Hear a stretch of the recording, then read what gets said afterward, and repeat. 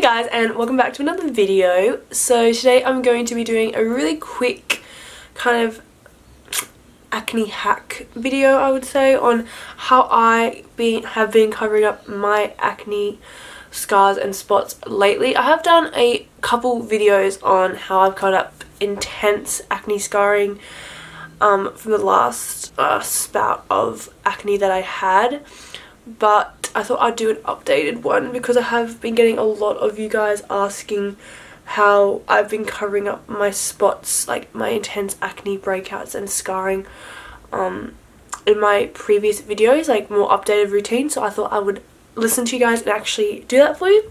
So without further ado let's get straight into it.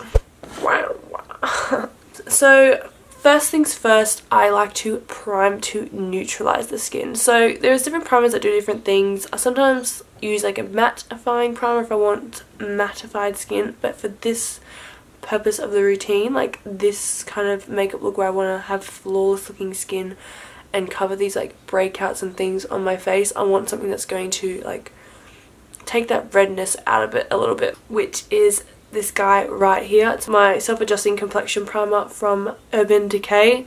I've used this in a few videos. I swear it's my ride or die. It's so good to neutralize any redness on the skin. It takes the anger out of your breakouts, the angry like redness. And for me, one to one and a half pumps will do me good with this primer just because I find if you use too much it actually can start to like leave a little bit of like crustiness on the skin so I prefer to just use one pump to one and a half like I said to cover all the spots that I need to and bring it down my neck a little bit to cover little like you know these little breakout scars and stuff. So now that the skin is all neutralized we're going to go in with the color corrector concealer part of the routine. Ooh a little bit bright for you there. What I've been doing to change it up a little bit I try not to do too many products on my skin. If you saw in my how to cover acne breakouts um, and scars and things with drugstore products, I used a fair bit of product on my skin. And it just looked I look back on it and I think it just looked too cakey. At the time I was like super impressed because I'd full covered up all my acne scars. Like that was the goal at the time. But now for my skin I just prefer to have something that doesn't look so thick on my face so I try to use less products but more concealing products. So I'll kind of use a couple different things depending on what my skin needs. With this one up here I'm going to use a color corrector because I just feel it needs something to kind of reduce down and correct this redness. Whereas with my scars and you know the few breakouts on my skin I'm going to use an actually an eye primer concealer. So I'm going to use the MAC Paint Pot eye primer as my concealer just for these little spots here to add a little bit more coverage and cancel out that redness because they aren't so angry like this one here. So I'm going to just take my finger, I just find it best applying it with my finger. I know the whole bacteria thing isn't great but probably should follow that like idea more because that's probably why I'm breaking out so much because I use my fingers so much with products.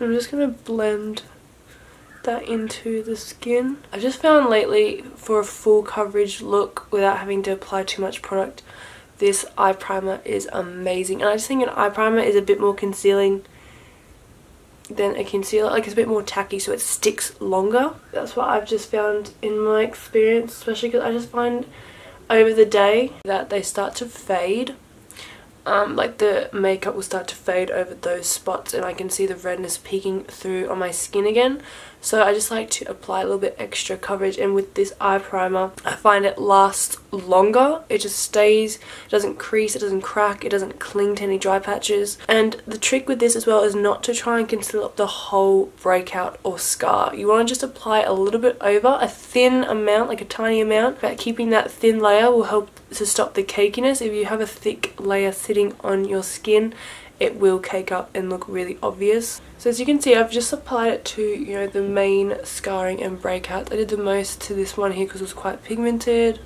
I did one there, like you could see over my face there's little patches of that eye primer and it doesn't really matter that it's not the exact same colour as my skin because we're just going to apply foundation over the top which is also why I like to apply it first before foundation I'm also going to conceal this one, don't worry. But I just wanted to kind of cover those up. Also, it stops me applying too much foundation over those areas because I'm just trying to build it up, build it up, trying to conceal those breakouts and then ends up being cakey.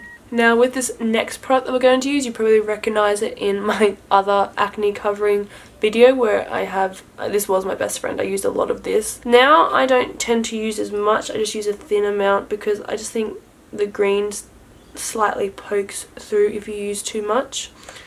So I grab again some on my finger and I just apply it to the really angry breakouts. So just a thin amount and I'll blend, again using the same technique, blend the edges. Try not to take too much coverage away from that breakout. So you can see it's slightly got that green tinge but that'll be easily covered up with our foundation. So next I'm going to take a full, pretty full coverage foundation, probably not anything crazy but I like to use this one from Arbonne Perfecting Liquid Foundation. It also has SPF 15 so it's good for sun protection as well. And I like this because it's a non-toxic foundation. I've done a review which goes into all the information about it but I just think it's a healthier foundation for your skin. It's full coverage. It can be medium to full so you can have a, a medium coverage but you can build up to be a full coverage as well which I like that because I want a bit more control because some areas I don't want as full coverage. I want to look more natural and in other areas I want to be like a little bit more full coverage on my face you know. I'm just high maintenance like that and I just squeeze on the back of my hand. Just one pump for now. And again, going in with my fingers, you're probably like, honey, the reason why you have so many breakouts is because you use your fingers. Probably. Probably. Sorry about the lighting change, guys. It is windy and cloudy outside.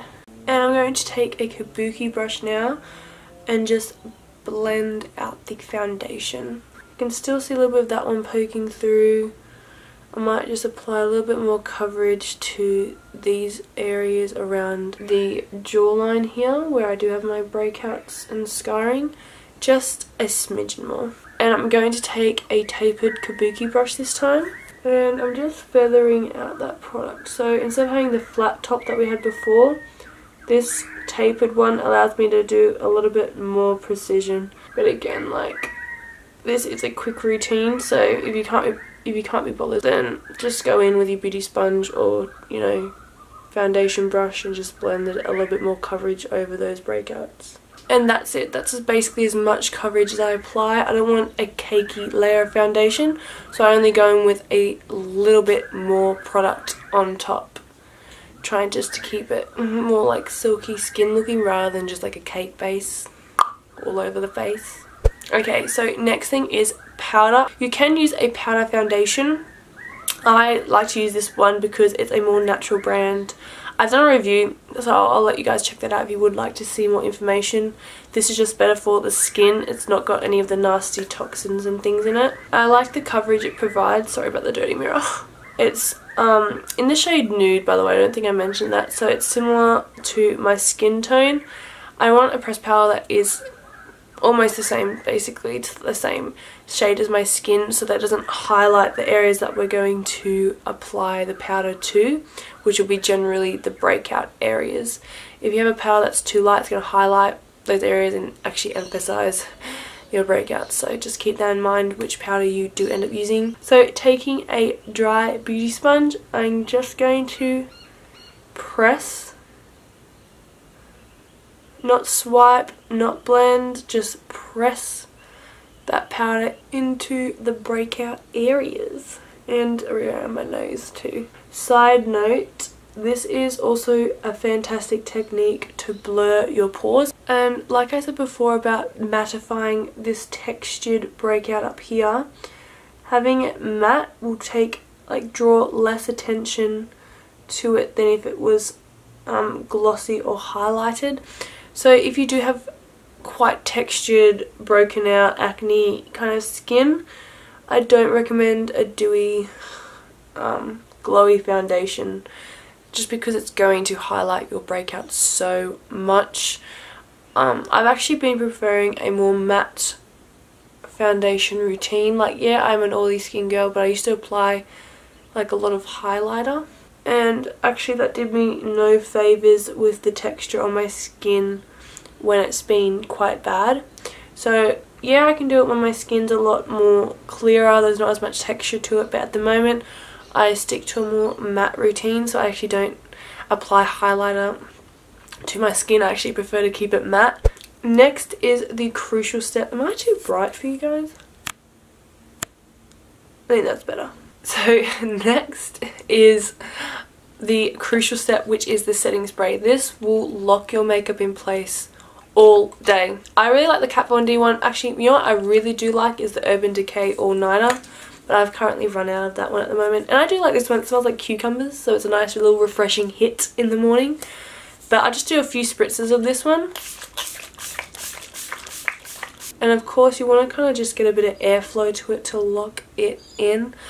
Oh, it's so refreshing. Oh my god. This was my favourite part of my makeup routine in summer because it just like cools you down especially with the sun just beaming through the window it's just like a nice little spritz to the face it's just everything everything and just with me I like to focus it in my general acne area to make sure I'm not like to make sure I'm locking that part in the most you know okay guys so I've just quickly applied some concealer around my eyes I'll quickly finish off the rest of my face makeup so you guys can see what it looks like with you know, a full base done. I'm not going to bother doing my eyes, I don't think. I think I'll just do a base for you guys. But I just want you to see like how it's looking now before I apply bronzer, blush and all that jazz to my skin.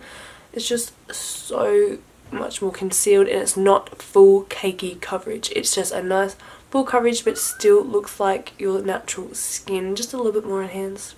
When I say a little bit, it's a bit more full glam. Let's say that. As you can see, it's covered up the scarring and acne that I've wanted it to. If you do have a little bit of texture on your skin, you can do a little trick where you grab oh a little like brow slash eye and just apply that to the skin like a little faux freckle kind of thing just to the breakout on like the head to kind of pass it off as like a beauty mark like something like that rather than it actually being acne. I was a fan of that before but now I actually just don't really mind like the texture is going to be there.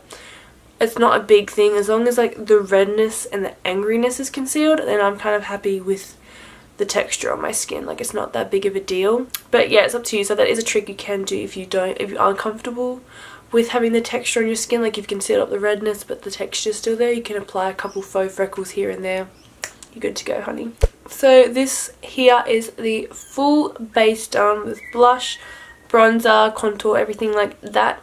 As you can see I've left it matte because like I was saying like I just don't want uh, much of a glow anymore. Like I do still do that if I'm looking for a more glam. Look but an everyday acne coverage routine I want it to be a bit more matte.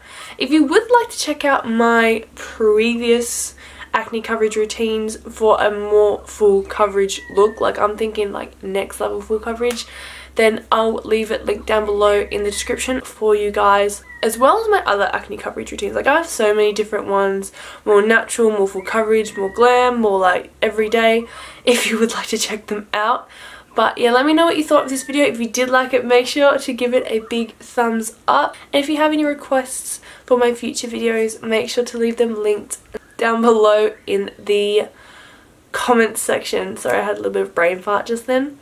So I know you guys want to see in my upcoming tutorials and videos. Otherwise, have an amazing day, guys. I love you all so much, and I'll see you soon.